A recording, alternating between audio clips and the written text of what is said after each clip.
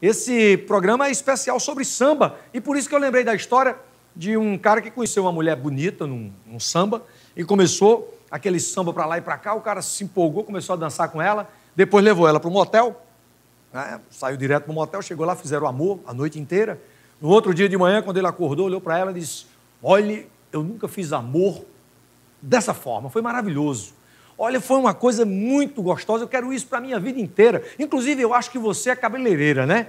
Ela disse, sou, como é que você sabe? Isso é porque a sua forma de afagar os meus cabelos realmente fizeram com que eu descobrisse que você era cabeleireira. Ela disse, ah, que legal também descobri que você, você é do PT, né? Você é do partido da presidente, né?